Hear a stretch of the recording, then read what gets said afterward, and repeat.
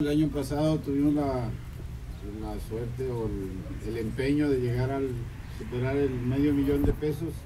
Este año es- estamos agregando algunos premios en un sorteo y, y la verdad es, pues es para, para todos nosotros los que integramos el equipo de Cruz Roja gratificante que haya tantos muchachos este, empeñados La colecta del, del boteo representa, el año pasado fueron un millón, un millón ciento veinte mil pesos, de los cuales la mitad, la mitad nada más fue este día. Entonces eso representa la, la importancia que, que genera el, el apoyo de todos los estudiantes que apoyan, eh, administrativos, eh, maestros, todos los que están el día de hoy boteando en la calle. la reciprocidad con los grupos más necesitados de nuestro entorno y que por supuesto algún día cuando ustedes sean profesionistas y profesionales van a tener que trabajar echar por delante primeramente sus valores Así sí, ya es una campaña con la cual la universidad tiene un compromiso ya por muchísimos años.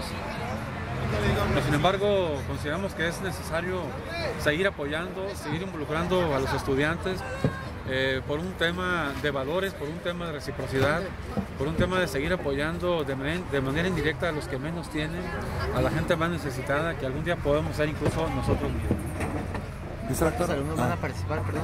Están participando en esta importantísima campaña un poco más de 1.500 estudiantes distribuidos eh, en prácticamente todos los cruceros, o si no los cruceros más importantes de la ciudad, avenidas más importantes, eh, buscando pues no también ellos eh, a través del servicio social comunitario contribuir en esta importante campaña Cruz Roja Mexicana a nivel de Tijuana. ¿Cuánto tiempo van a estar los alumnos eh, participando? ¿Cómo, ¿En qué consiste ahora sí que el apoyo de, de UABC en cuanto a la logística y el tiempo? Bueno, de hecho, aunque la campaña oficialmente empieza hasta el 20 de marzo, me estaba comentando el presidente Cruz Roja, el Chavo Salvador Gutiérrez, en, en donde empieza siempre, primero es el UABC.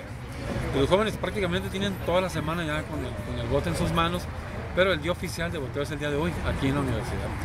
Por la, todo el día y por la tarde ya es el conteo aquí mismo a nivel de campus y la entrega de los recursos a Cruz Roja Mexicana, todo debidamente transparentado. O sea, tiene una semana realizando la... Prácticamente ya es la semana con los jóvenes efectiva de, de trabajo de ellos, eh, comprometidos en sus casas, en sus colonias, avenidas principales, cruceros, en la línea, donde lo hemos considerado más prudente y, más efectivo, digamos, la- esta importante colecta a nivel de los jóvenes estudiantes.